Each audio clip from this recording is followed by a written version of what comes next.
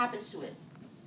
It, it's hot. What does water do when it boils? It's it's It like moves creates fast. It it moves really creates fast, right? Gas. It creates gas. Exactly. So liquid turns into gas. Does anybody know the scientific name for that?